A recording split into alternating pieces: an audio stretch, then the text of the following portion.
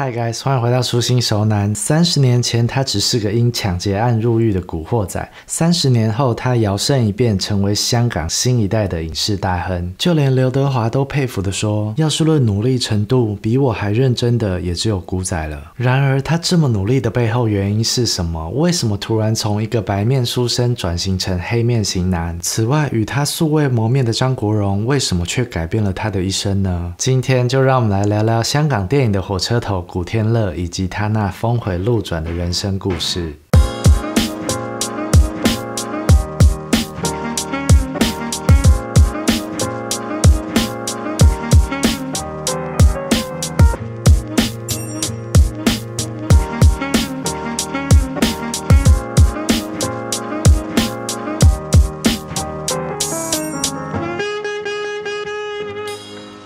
七零年，古天乐出生于香港的何文田区。儿时因为父母过度保护，小学某天当老师要大家说出自己未来的志向，他的答案居然是朋友。因为除了上学放学，就连午餐爸爸都会接他回家吃饭，让他像是温室里的花朵那样，没什么机会与外人接触。国中毕业后，他放弃升学，想直接进入社会学习一技之长来养活自己。但在没压力的情况下，每一份工作都做不久，反而认识了。很多环境复杂的朋友，二十岁那年就因为参与了抢劫案被判入狱。讽刺的是，古天乐才进去蹲没几个月，自己的女友就跟好友跑了。遭遇双重背叛下，他经常情绪失控，动不动就找人打架闹事，刑期也不断延长到二十二个月。一直到受到一位七十几岁的修女感化，才让他开始反思自己的人生，决定改过自新。出狱后，他在一间经纪公司找了类似星探的工作，由于外形出众，常。常排定的艺人一有状况，剧组就会临时要他顶替上场，所以在一些九零年代的广告或是卡拉 OK 伴唱带中，都还能看到他出道前的稚嫩身影。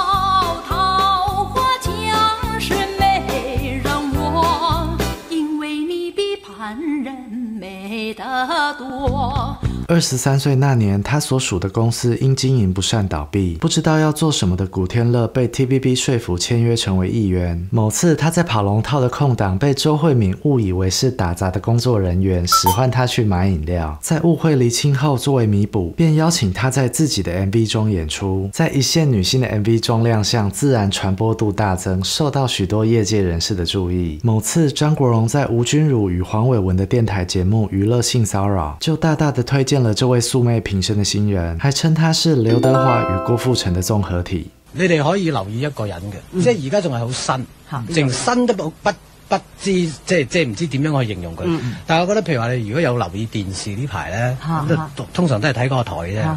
咁佢就有一部戏，嗰人叫做古天乐。咁我覺得佢係個型就真係好做咯。佢做過乜嘢啊？佢冇做過任何嘢，即係佢淨係做過，即係好似話有一部電影，同埋有一个诶电视剧，佢而家係做緊一啲閒角。咁但係我覺得佢係可以。你同佢合作過？冇，即係我只只不系睇啫，我淨係睇。远远咁睇唔系，我淨係睇熒幕上嘅佢，即係我覺得佢係有诶呢個劉德華同呢個郭富城嘅混合。古天乐吓，咁即即我睇人就幾準。聽日有閃卡噶咯，聽日有。而家我就未識。聽講佢已經有 fans 喎。係咩？講真係。咁一出道就遇到周慧敏與張國榮兩位貴人，才旁聽了兩堂表演課的古天樂，一下子就從演路人甲乙丙丁升級為有名有姓的配角。一連在鄭伊健主演的愛情喜劇《婚姻物語》，以及黎明主演的校園青春劇《阿 Sir 早晨》中登場，同時也常被電影劇組跟 TVB 外界去演出一些小角色，被業界視為。为极有发展潜力的新人，但才刚开始有了报道的价值，媒体就立刻揭发了他因抢劫坐牢的过往。还是新人的他人为言轻，针对他的负面新闻也越写越夸张，一时之间千夫所指，演艺工作被全数喊停。眼见情况越演越烈，TVB 便安排他到黄沾的节目《城市追击》，坦诚了自己的过去。嗱，发生咗呢件事，你究竟有啲咩嘢同大家讲？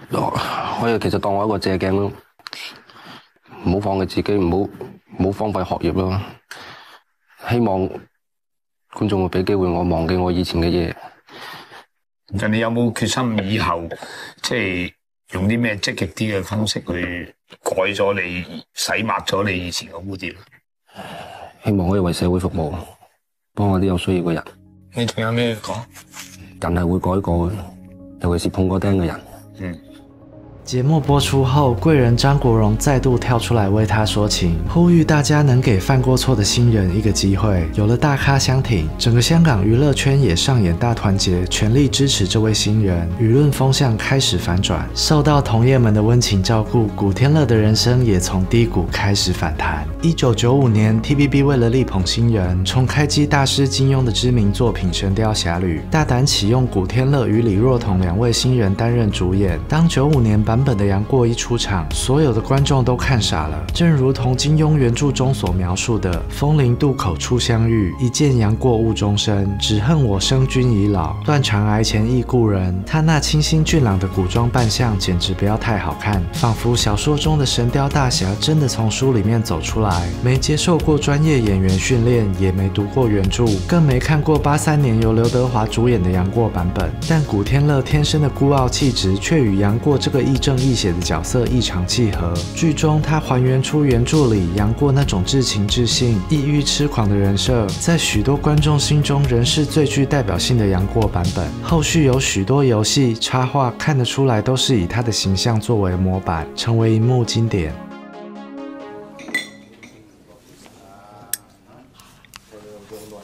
喂，你睇，就係佢啊！哦，佢就係丁鹏啊！三招就打敗空洞派掌門，六招就打敗獨臂刀霸，但係睇佢樣平平無奇，冇乜特別啫噃。隔年，古天乐又主演了另一位大师古龙的同名小说改编剧《圆月弯刀》。他所饰演的丁鹏在设定上还真是渣到不行。但是相亲啊，这平平无奇、没什么特别的胡渣扮相，完全帅到让人忽略其所作所为，甚至连《圆月弯刀》到底在演什么都显得不重要了。只记得他面如冠玉，貌比潘安，仪表堂堂，剑眉星目，气宇轩昂，一表人才，白净文雅，城北徐公。套用到现代的话来说。就是帅，就是正义。大部分的观众可能只知道九五年版的杨过是他古装扮相的代表，但其实内行的粉丝都知道，一身绿衣的丁鹏才是白骨时期难以跨越的巅峰。翻斋烧啊，揾啲嘢玩得唔得？不如唱歌睇先啦。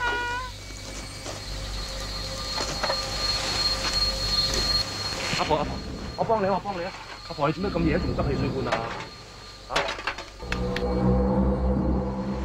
生仔，乜你睇到我嘅咩？咁你真系唔好彩。其实古天乐从白骨要转职成黑骨之前，还有一段被称为是鬼谷的阶段。原因是从一九九七年上映的《阴阳路》恐怖电影系列，他在不到四年的时间里就演了七集。也就是说，观众每隔几个月就会见到他出现在一个又一个的灵异故事里，居居了一遍又一遍。《阴阳路》的影片架构模仿欧美的《阴阳魔界》与日本的《世界奇妙物语》，将几个分开独立的小故事串联成一部电影，主打低成本。接地气与快速产制，上映后一炮而红，于二十年间推出了二十部系列作，是香港电影史上最长寿的恐怖片系列。现在回头来看，《阴阳路》土炮的拍摄手法与阳春的化妆特效并不算特别恐怖，但也因为剧组毛起来省预算拼速度，许多场景都是在坟场或是殡仪馆实地拍摄，据说就发生了许多难以解释的状况，使得演员们在表演时格外战战兢兢，不由自主地透露出害怕的表。表情反而将那种人心惶惶的感觉呈现得无比真实，加上前几集的主打演员古天乐突发奇想加入了对镜头挥手的经典桥段，以及每集都会出现极其哀怨的华语老歌，都是恰到好处的神来一笔，让观众看得毛骨悚然。整体气氛还是相当到位。像《阴阳路》这种贴近生活的鬼故事，一直都是许多人又爱又怕的题材。在这边我也分享一个小撇步，其实这种灵异题材的内容。如果改为用听的，沉浸感还会更加强烈。像我最近就常会利用零碎的时间，利用喜马拉雅这个听书 App 去收听各式各样的鬼故事。例如，总播放量超过五亿次的《消续午夜故事》，就很容易让人听到上瘾。富有感染力的声线搭配适时的音效，让收听者仿佛身临其境，融入在紧张骇人的剧情里。突然，灯忽闪了几下，灭了。黑暗中仅剩下忽明忽灭的烟头，发出淡红色的光芒。就在这个时候，一脚步声匆匆忙忙地走了进来，然后在他旁边蹲了下来。哥们儿，小心点儿，这鬼地方灯坏了。”对方没有吭声。不一会儿，一只冰凉的手抓住他的胳膊，吓得他差点惊叫。这时，对方说了一个字：“烟。”喜马拉雅是一款我长时间爱用的声音 App，里面有十五万本以上的正版华语有声书，以及各类课程、Podcast 等丰富内容。除了灵异类的作品，要收集拍片资料时，我就常会收听像巴菲特的自传《雪球》这种人物传记。想要放松的时候，我也会点开胡川安的历史迷走系列。最近吸引力法则再度翻红，这次我就毫不犹豫选择用懒人听书的方式来复习《秘密》这本书。其他还有由专业 CV 配音的广播。播剧、经典名著、自我成长、科幻小说，还有我最喜欢的悬疑推理等各式各样的内容，真的是听都听不完。自从我把看书的习惯改为用喜马拉雅听书之后，吸收资讯的速度真的快了许多。而且它可以跟着手机一样随身携带，节省空间又方便，连价格也便宜很多。每个月只需要一份麦当劳套餐的价钱，就可以尽情听到饱。如果你想体验看看，可以点击资讯栏中的链接，就可以用 VIP 的身份免。免费试用十四天，比一般用户还多了一倍的时间。体验过程中，如果不喜欢，也可以随时取消。如果试用后觉得还不错，在八月二十八号之前使用第二个链接，还有价格更杀的超超超优惠折扣。对我来说，这款 App 真的是实用、方便又省钱，推荐给大家。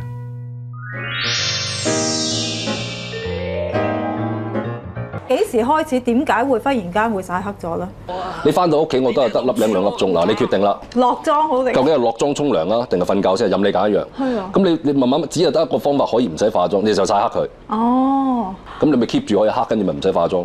对于古天乐从白骨转变成如今的黑骨，坊间总充斥着各式各样的传闻。但根据他许多的采访以及自传《寻乐记》中的描述，他变黑的原因应该是这样的：一九九七年，他因为在菲律宾拍摄电影，极度重犯，每天晒太阳。某天被工作人员称赞他肤色变黑之后更加健康有型，让他深有同感。加上他自己也很想摆脱在白骨时期被评为油头粉面的标签，还有就是很讨厌化妆，想。把时间留下来睡觉，综合了以上各种原因，他才下定决心晒黑转型。于是，在这之后，他持续把自己晒黑，改剃了个超贴的发型，增加肌肉，加强男人味，从此进入黑谷时期，也成为他演艺事业的重要转折。一九九九年，古天乐凭借着在《刑事侦缉档案四》中的出色表现，以二十九岁之姿拿下了年度最佳男主角，成为 TVB 最年轻的视帝。二零零一年的历史穿越剧《寻秦记》，古。天乐被原作者黄奕钦点担任主角。拍摄期间，他加入了许多即兴发挥的搞笑桥段与台词，将电视版的向少龙诠释的既幽默风趣又重情重义。看似玩世不恭，却能智勇双全的自由驰骋在历史的舞台上。就算转型成了黑谷，他的人气还是丝毫不减，成为无数观众们心目中最完美的黑马王子。作为华语穿越剧的鼻祖，《寻秦记》靠着新颖的设定与脑洞大开的剧情，在开播。后叫好又叫座，不止香港的平均收视率达到三十三趴，还让古天乐再度夺下 TVB 的最佳男主角。鐵童，喂，你唔係話？你有冇搞錯啊？你知唔知兩夫婦啊最緊要相處之道係咩啊？信啊！我而家連氣都透唔到啊！離婚啦！對唔住啊！對咩唔住啊？你唔好對唔住我啊！唉，如果唔係我十八歲年少無知同你結咗婚，都唔使搞到而家咁啦。哎，唔好講啦，離婚。點嚟啫？我有咗啊！咩啊？咩啊？我有咗。与 TVB 八年的合约到期后，古天乐正式转战电影圈，延续着《寻秦记》中的万人迷形象。一开始的几年，他都是接拍一些搞笑喜剧或是浪漫爱情片，市场反应也相当捧场。所演出的每一部作品，几乎都有千万港币以上的票房成绩。若是扣除掉群星云集以堆卡斯为主的贺岁片，他光是与刘青云合演的各类喜剧，就有五部的票房落在两千万上下。与郑秀文搭档的《百年好合》，票房也。接近两千五百万，俨然就是个香港新生代的票房常胜军。而且这类型的电影都是演起来轻松，角色形象又讨喜，让他还能有多余的时间跨界出唱片当歌星，完全就是走一个前途无限光明、闷声发大财的节奏。但这样安逸的生活显然不能满足古天乐，在尔冬升执导的纪实犯罪电影《门徒》，他的突破性演出就让人眼睛一亮，刮目相看。其实，在这部片中，他的戏份少得可怜，角色还连个名字都没有，但他却演得十分卖力。先是为戏减重十几磅，接着又一改先前酷帅小生的形象，穿上邋遢的服装，并戴上特殊造型的牙套，扮演一个无药可救的吸毒者。在外明明是个龌龊无耻的小混混，回到家后却对着妻女耀武扬威，还丧尽天良到利用他们运毒赚钱。糟糕到了极点的样貌，让粉丝们还一度怀疑他是不是为了入戏真的遁入魔道。传神的毒虫嘴脸让让他首度入围了金马奖与香港金像奖的最佳男配角奖，被视为是他转型成实力派演员的最大转捩点。朗根哥，大大啲叫你選佢喎。千眉仔，黃生咁大對波波係咪堅㗎？強仔，叫我入嚟。十皮咋？佢係俾咁多啫喎。跳嚟睇下，快啲！顶佢个肺啊！俾人穿爆俾廿皮，俾我俾十皮，大啲唔想赢定啦！行行啊！二零零五年，杜琪峰以帮会和连胜选举画事人作为主题，拍了上下两集的犯罪电影《黑社会》。如果不考虑和谐版本的《龙城岁月》，这部作品的艺术价值极高。片中的历史考究、人物刻画以及对现实的隐喻，无一不耐人寻味，令人拍手叫好。每一位角色、每一句台词、每一处细节都可以被拿出来讨论一番。光是开场的入会仪式，搭配罗大佑的配乐，搞不好有人就能写出一篇论文来。把把一个选老大的黑帮故事说得极有寓意，被许多影迷们誉为是香港版的教父。若把上下两集的黑社会看成是一部作品，在上集表现不算多的古天乐可说是毫无疑问的主角。他所饰演的帮派干部是个性格复杂的角色，他既是叔父辈的小弟，也是手下们的大哥。他对社团这种传统阶级权力没有兴趣，反而追求的是现代金钱至上的新趋势。从各种面向来看，都是充满着矛盾与冲。冲突，把他身上那种亦正亦邪的灰色气质发挥得淋漓尽致。对他来说，社团内的逞凶斗狠、权力斗争都是没有意义的。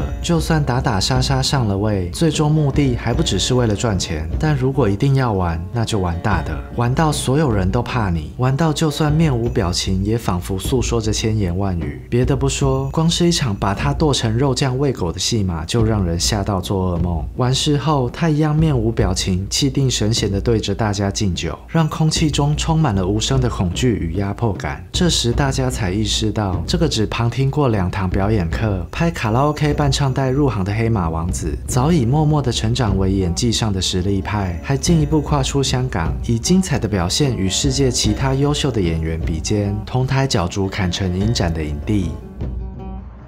有火势啊？唔系呢个，你死就攞嗰个咧。夠膽咯，唔夠膽認啊！咁羅條友嘅部機俾人滗咗，我諗住一陣呢個鴨寮街俾我老風 check 下，睇佢用咩台，可能收料嘅。我哋 check 到個日，法官都結案陳詞啊。Sorry，你知你成日等錢使㗎啦。屌，我要貪，都咪貪我少少啦，因為貪我一百萬。黑社会与门徒的成功，让所有人都见识到古天乐黑白通吃的可塑性。接下来的十几年，他随着香港电影的发展，戏路逐渐往警匪对决靠拢。作品大多是光看片名大概就可以猜到内容的犯罪电影，例如由麦兆辉与庄文强联合编导的《窃听风云》三部曲，将人气电视剧翻拍成电影版的《使徒行者》二部曲，从2005年的导火线开始延伸的《杀破狼》三部曲，以廉政公署为主题的《反贪风暴》五部曲。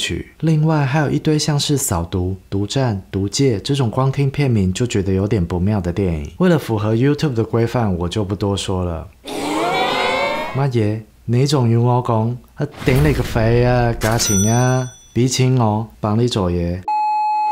其实他演出的这些片倒也不是真的不能讲，而是这几十部犯罪电影就像是香港影坛这些年来的缩影，题材差不多，内容差不多，就连演员也都是那几个：古天乐、任达华、张家辉、刘青云、吴镇宇。林雪、江浩文、林家栋，你知道的，港片十之八九就是这些人的排列组合。偶尔故事拓展到泰国、缅甸、金三角等地，东南亚的演员一出场也都是那些熟面孔。当然，里面不乏有些优秀作品可讲，但我想《门徒与黑社会》就已经足够有代表性了，剩下的就请有兴趣的朋友自行研究吧。广告做得再好，不如进屋玩一玩。贪玩蓝月这游戏，我可以玩一整年。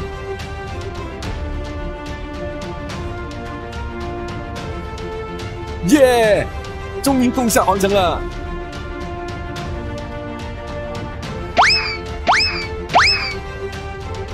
还看什么？赶紧来贪玩蓝月，和我一起跨服吧！当年兄弟依旧传奇。跟与古天乐同个时代走红，如今产量锐减的天王们不同，在转战大荧幕后的二十年间，平均每年他都会演出四部以上的电影，所接演的作品荤素不忌，良莠不齐。讲白一点，就是烂片也拍不少。很多影迷们都不能理解，正值壮年、咖位够、不缺钱的古天乐为什么不珍惜自己的羽毛？除了不挑戏之外，还接了一堆不明所以、影响形象的代言。就连与他合作多年的杜琪峰导演，都劝他不要只顾。着赚钱，但他只回应很多人需要我，所以我必须要赚更多的钱。一直到尔冬升导演在社群上发布了一张表格，上面密密麻麻记载着古天乐这些年来捐款新建的学校，至今总数已高达上百所。大家才知道他赚的这些钱用去哪了。呃，大家熟悉的古天乐是一个演员，但事实上他花了很多心思在。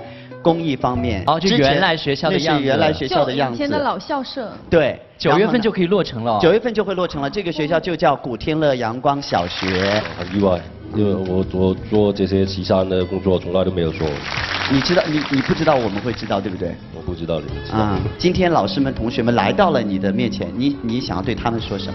我希望，呃，我希望你们可以好好的读书，真的，将来可以帮助其他人。据说这是因为古天乐刚入行时曾被揶揄只有中学毕业，教育水准不高才会被关，所以他认为只要能多建一所学校，说不定就可以避免一些失学的孩子像他当年那样走上歧路。只是当消息一曝光，立刻就有酸民质疑学校的名字都取名为古天乐希望小学，太过矫情，会不会只是明星要炒作好感度？但协助他做公益的香港慈恩会立刻跳出来辟谣，说建学校必须加上捐款人的名。字是他们的规定，并非由捐赠者决定。同时，也有另外一名网友爆料说，由他代言被大家酸得要死的网页游戏，古天乐也是分毫未取，要求将酬劳全数捐给慈恩会协助建校。从此，他就多了一个新的称号，叫做“只有太阳能黑他的男人”。习惯了默默付出的古天乐，对于平日的善举，就连自己的妈妈也没有告诉。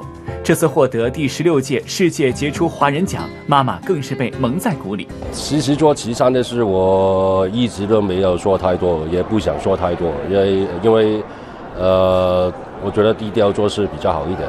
我一直都跟自己说，如果有能力的时候，希望能帮到更多不同的人，这个是我一直以来，呃，做事的原则。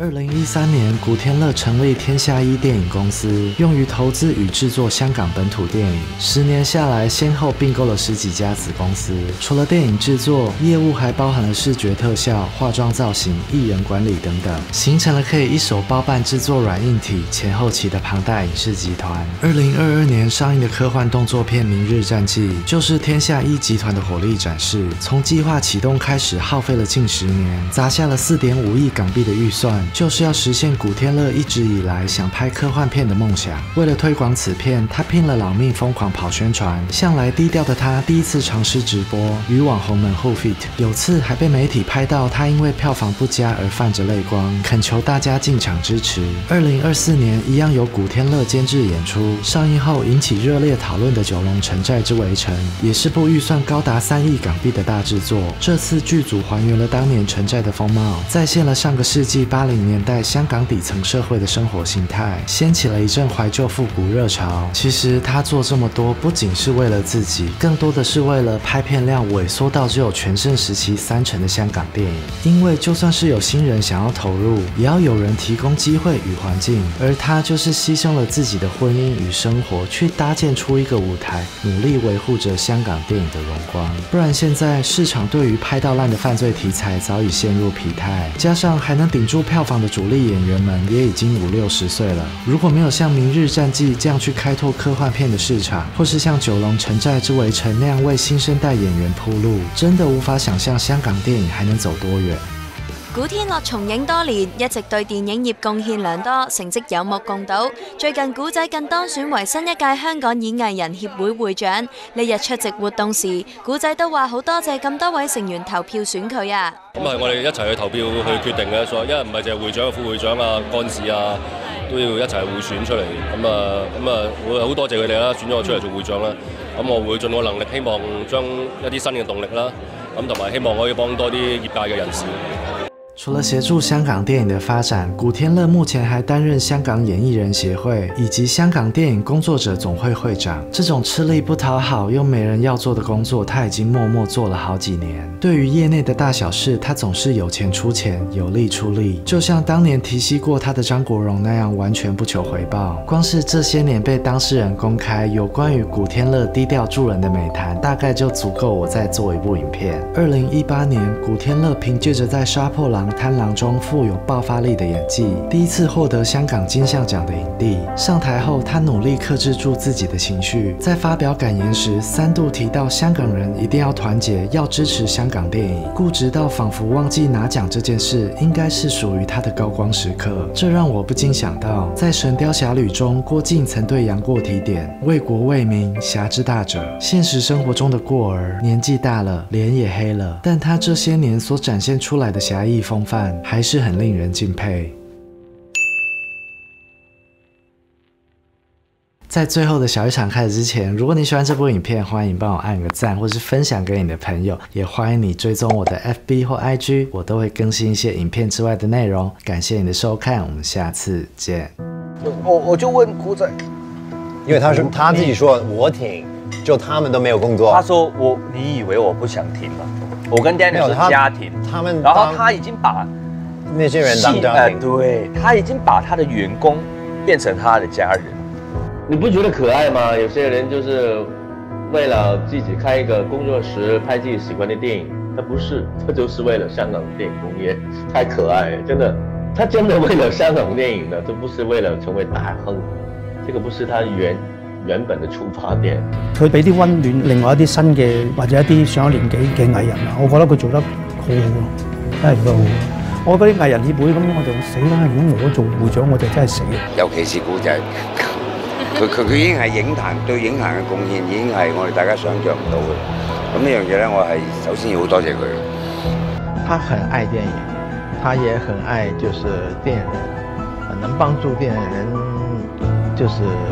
好一點的事情，他都願意做。我同佢直接講過啦，喂喂，睇住我荷包啊！梗係擔心我梗係有，我同佢講，喂，咁佢梗係拍好多廣告啦。唯一咁有熱血嘅人，你梗係要打擊佢噶嘛？嘛，即係最多係關懷下啫，係嘛？譬如說古天樂，現在他投資好多影片，他投資的戲當中一大部分是。你跑到別家投資方是不願意投資給你，但是他还是投资。我不是在我我不是在夸古天乐，他对香港电影也确实是起了一个很认真，而而很有效效果的作用在当中。真的，我相信他。